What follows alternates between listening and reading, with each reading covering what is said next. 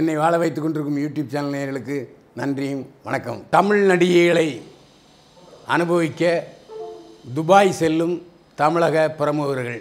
தமிழ் நடிகைகளை சென்னையிலோ தமிழ்நாட்டிலோ வைத்து அனுபவித்தால் எங்கே வண்டவாளம் தண்டவாளத்தில் ஏறிவிடுமோ என்ற பயத்தில் பல தமிழக அரசியல் பிரமுகர்கள் சினிமா இயக்குனர்கள் துபாய்க்கு பறந்து சென்று அங்கே தாங்கள் விரும்பிய நடிகைகளை போட்டு தள்ளுகிறார்கள். இது பற்றி ஐம்பது துணை நடிகைகள் மற்றும் நடிகைகளிடம் தீவிர விசாரணை நடந்து வருகிறது. இதற்கு முக்கிய புள்ளியாக திகழ்ந்தவர் ஷக்கீல் என்ற பிரபல தமிழ் மாமா.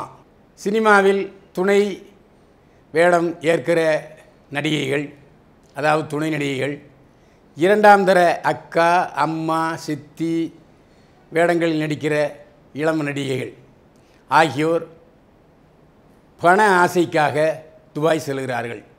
இவர்களிடம் லட்சக்கணக்கில் பணம் கொடுத்து ஏமாற்றி அவர்களை கலை நிகழ்ச்சி நடத்துகிறோம் வாருங்கள் என்று சொல்லி துபாய்க்கு அழைத்து போகிறார்கள். அங்கே போய் துபாய் ஷேக்குகளுக்கு மட்டுமல்லாமல் தமிழகத்திலிருந்து பறந்து செல்கிற விஐபிக்களுக்கும் அவர்களை விருந்து வைக்கிறார்கள். அனுபவித்துவிட்டு லட்சக்கணக்கான பணத்தை விசிறியடித்துவிட்டு வருகிறார்கள் தமிழக பிரமுகர்கள். இதற்கு மாமாவாக செயல்பட்டவர் ஷக்கீல் என்பவரை. ஷக்கீலை சமீபத்தில் வெளியுறவுத்துறை அதிகாரிகள் கைது செய்து விசாரணை நடத்தினார்கள். இப்போது துபாயில் ஐம்பதுக்கும் மேற்பட்ட துணைநிலைகள் மற்றும் அலைகள் சிக்கி தவிக்கிறார்கள். அவர்களை மீட்கும் பணியில் தமிழக மற்றும் வெளியுறவுத்துறை அதிகாரிகள் மும்முரமாக செயல்பட்டு கொண்டிருக்கிறார்கள். இவர்களுக்கு தலைமையேற்று நடத்தியவர் பிரபல தமிழ் நடிகை என்று கூறப்படுகிறது. யார் அந்த தமிழ் நடிகை என்பது விசாரணையின் போதுதான் வெளியே வரும். அந்த தமிழ் நடிகைகளில் ஒரு டான்ஸ் மாஸ்டரும் இருப்பதாக சொல்லுகிறார்கள். கலை நிகழ்ச்சி என்று சொன்னால் டான்ஸ் மாஸ்டர் தலைமையில் தான் அங்கே செல்வார்கள். அப்போது விசா பாஸ்போர்ட் வாங்குவதற்கு ஈஸியாக இருக்கும்.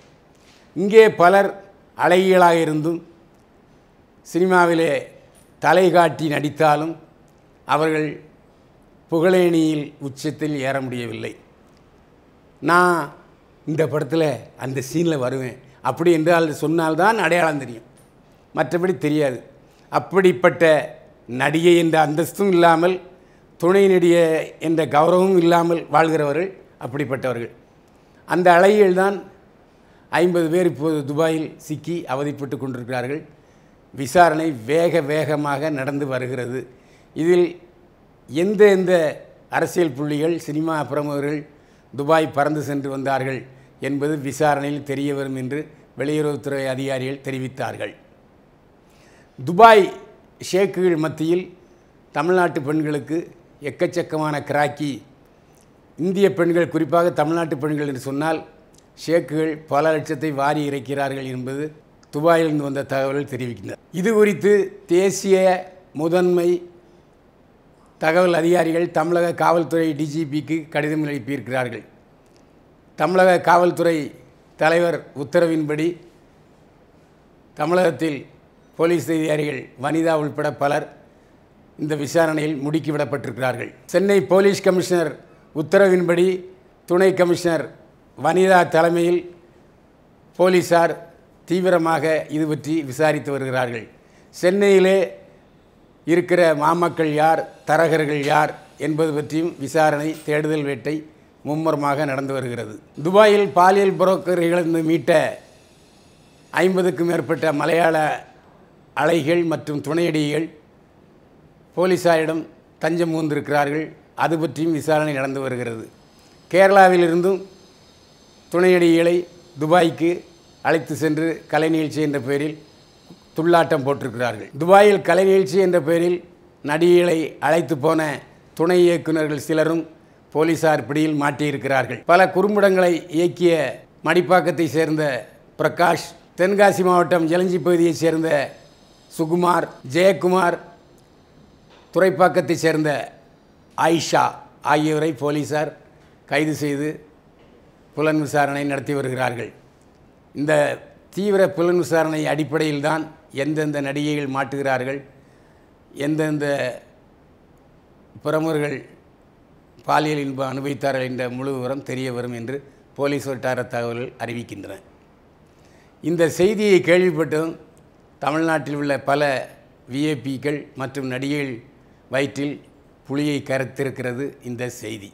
துபாய் சென்ற நடிகையிலிருந்து புறப்பட்ட பண கடன் பத்திரங்கள் கைரேகையுடன் போலீஸாரிடம் சிக்கியிருக்கிறது. ஏனென்றால் சில துணை நடிகைகளுக்கு எழுத படிக்க தெரியாது கையெழுத்து மட்டுமே தான் போட முடியும். அந்த அடிப்படையில் கையெழுத்து பெறப்பட்ட கடன் பத்திரங்களையும் போலீஸார் கைது செய்து விசாரணை நடத்தி வருகிறார்கள். இதைத் தொடர்ந்து கேரளாவை சேர்ந்த புத்தகோட் ஷக்கீல் மற்றும் அவருடைய காதலி ஆகியோர் சென்னை வர இருப்பது தெரிய வந்தது. உடனே அவர்களை மடக்கி சென்னை போலீஸார் கைது செய்திருக்கிறார்கள். இப்போது போலீஸ் காவலில் இருக்கிறார் பாலியல் புரோக்கர் த கிரேட் ஷக்கீல். கேரளாவைச் சேர்ந்த முஸ்தபா ஷக்கீல் மற்றும் நால்வர் இந்தியா வர இருப்பது தெரிய வந்தது. உடனடியாக விசாரணையை முடுக்கிவிட்ட போலீசார் இவர்கள் நாலு பேரும் எந்த விமான நிலையத்தில் வருகிறார்கள் என்பது பற்றி கண்டறிய லுக் அவுட் நோட்டீஸ் பிறப்பிக்கப்பட்டுள்ளது. எந்த விமான நிலையத்தில் இவர்கள் வந்தாலும் இந்த நாலு பேரையும் கைது செய்ய சென்னை மாநகர கமிஷனர் அருண் உத்தரவிட்டிருக்கிறார். திருவனந்தபுரம் விமான நிலையத்தில் வந்தபோது சுங்கத்துறை அதிகாரிகள் ஷக்கீலை கைது செய்திருக்கிறார்கள் என்பது இப்போது தற்போதைய தகவல். இதை கேள்விப்பட்டதும் சென்னையிலிருந்து போலீஸ் அதிகாரிகள் திருவனந்தபுரம் சென்று ஷக்கீலை சென்னைக்கு அழைத்து வந்து கொண்டிருக்கிறார்கள். ஷக்கீலில் பற்றி விசாரணை முடிந்ததும் ஷக்கீல் யார் யாரை இங்கிருந்து துபாய் அனுப்பினார்? எந்தெந்த பிரமுகர்கள் துபாய்க்கு சென்று மகிழ்ச்சி அனுபவித்தார்கள் என்ற விவரம் தெரிய வரும். ஆனால் இந்த தகவல் கோடம்பாக்கம் வட்டாரத்தை குலுங்க செய்திருக்கிறது. இது பற்றி சென்னை அழகி துபாய்க்கு போனவர் சென்னை போலீஸாரிடம் கொடுத்த தகவல் வருமாறு. வாட்ஸ்அப்பில் எங்களுக்கு ஒரு விளம்பரம் வந்தது. துபாயில் நட்சத்திர ஹோட்டலில் பணிபுரிய ஐம்பதாயிரம் சம்பளத்துக்கு அழகிய இளங்கும் பெண்கள் தேவைப்படுகிறார்கள். படிப்பு அதிகம் தேவையில்லை. சம்பளம் முப்பதாயிரம் ரூபாய் என்று சொல்லியிருந்தார்கள். நான் உடனடியாக சென்னைக்கு அந்த நம்பருக்கு ஃபோன் செய்தேன். உடனே சென்னைக்கு வரும்படி என்னை அழைத்தார்கள். சென்னைக்கு வந்தேன். நட்சத்திர ஹோட்டலில் தங்கினேன். அப்போது என்னை ஒரு புரோக்கர் அணுகினார். நட்சத்திர ஹோட்டலில் நடனமாட ஐம்பதாயிரம் ரூபாய் சம்பளம் தரப்படும். உங்களுக்கெல்லாம் நடனமாட தெரியுமா? என்று கேட்டார்கள். எனக்கு முன்பே அங்கு ஆறு அலைகள் வந்திருந்தார்கள். சுமாராக நடனமாட தெரியும் என்று ஆறு பேரும் சொன்னோம். அங்கு துபாயில் வைத்து உங்களுக்கு நடன பயிற்சி அளிப்பார்கள். நீங்கள் ஓட்டலில் நடனமாட வேண்டும். உங்களுக்கு சென்னை பணமாக ஐம்பதாயிரம் ரூபாய் இங்கே சென்னையிலேயே பட்டுவாடா செய்யப்படும் என்று சொன்னார். பணத்துக்காக ஆசைப்பட்டு வேறு வழி இல்லாமல் வேறு வேலை கிடைக்காமல் நாங்கள் துபாய்க்கு போனோம். அங்கே நட்சத்திர ஹோட்டலில் அரைகுறை ஆடையுடன் நடனமாடச் சொன்னார்கள். அது மட்டுமல்ல நீங்கள் அங்கே வருகிற விஐபிக்களுக்கு சந்தோஷம் கொடுத்தால் அதற்கென்று தனியாக சம்பளம் தரப்படும் என்று சொன்னார்கள். எங்களில் சிலர் அதற்கும் சரி என்று ஒத்துக்கொண்டார்கள். இப்படித்தான் நாங்கள் அங்கே துபாய்க்கு வந்தோம். எங்களுடைய பாஸ்போர்ட் எல்லாம் அந்த புரோக்கரிடம்தான் இருக்கிறது. நாங்கள் நினைத்தவுடன் சென்னைக்கு வர முடியாது என்று சொன்னார்கள். போலீஸார் உடனடியாக அந்த புரோக்கரை அழைத்து பாஸ்போர்ட் விசா எல்லாம் வாங்கி கொண்டு இப்போது அந்த அலைகளை சென்னைக்கு வ வரவழைத்திருக்கிறார்கள். அந்த அலைகள் விசாரணை வளையத்துக்குள் இருக்கிறார்கள். யார் யார் எந்த விஐபியிடம் சென்றார்கள் என்ற விவரம் அவர்களிடம் சேர்க்கப்பட்டு வருகிறது. சமீபத்தில் இப்படி ஒரு பெரிய பாலியல் ராக்கெட் இதுதான் நீண்ட இடைவெளிக்கு பிறகு. சென்னையிலே அலைகளை அல்லது நடிகைகளை அனுபவித்தால் போலீஸாரிடம் மாட்டி விடுவோம் அசிங்கப்பட்டு விடுவோம் என்ற காரணத்திற்காக துபாய்க்கு பறந்து சென்று அங்கு இரண்டு இரவுகள் தங்கி சந்தோஷத்தை அனுபவித்துவிட்டு மீண்டும் சென்னைக்கு திரும்புகிற விஐபிக்கள் பலர் இந்த ராக்கெட்டில் கண்டிப்பாக மாட்டலாம். நேரில் இந்த செய்தியை சொன்ன பிறகு சில விஷயங்களை உங்களுக்கு சொல்ல ஏஜி மாடர்ன் மீடியா சேனல் விரும்புகிறது. என்னென்னா தயவு செய்து வெளிநாட்டில் வேலை படிப்பு தேவையில்லை. ஐம்பதாயிரம் சம்பளம் அப்படி என்று சொன்னால் உடனே நம்பி விடாதீர்கள். உங்களுடைய உடலை அனுபவிப்பதற்காகத்தான் நீங்கள் வெளிநாடு அழைத்து செல்லப்படுவீர்கள். அங்கே பலருக்கு விருந்தாக்கப்படுவீர்கள். உங்களுடைய உடல் புண்ணாவதோடு சென்னைக்கு மீண்டும் திரும்பும்போது சமயத்தில் உங்களுடைய உடலுறவு காட்சிகள் நீலப்படமாகவும் வெளிவரலாம். இவ்வளவு அபாயம் இருக்குது தமிழ்நாட்டு பெண்கள் மானம் மரியாதை உடையவர்கள் சூடு சுரணை மிக்கவர்கள் என்று நாம் சொல்கிறோம்.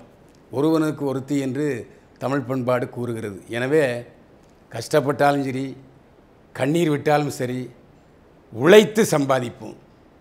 உடலை விற்று சம்பாதிப்பது நம்முடைய நோக்கம் அல்ல அது நம்முடைய தொழிலும் அல்ல. நம்முடைய கலாச்சாரத்துக்கு சீரழிவு என்று சொல்லி தயவு செய்து இது போன்ற வாட்ஸ்அப்பில் வருகிற நம் விளம்பரங்களை நம்பாதீர்கள். நம்புவதோடு மட்டுமல்ல மற்ற தோழிகளிடமும் சொல்லாதீர்கள். உங்களுக்கு விரிக்கப்படுகிறது வலை. அந்த வலையிலே மாட்டிக்கொள்ளாதீர்கள். வலையிலே மாட்டிக்கொண்ட மீன்களாக அவதிப்படாதீர்கள். இதுதான் ஏஜி மாடர்ன் மீடியா சேனலுடைய வேண்டுகோள். நேர்களே இது போன்ற பரபரப்பான தகவல்களுக்கு ஏஜி மாடர்ன் மீடியா சேனலை சப்ஸ்கிரைப் பண்ணுங்கள் ஷேர் பண்ணுங்கள் மீண்டும் சந்திப்போம். வாழ்க வளமுடன்.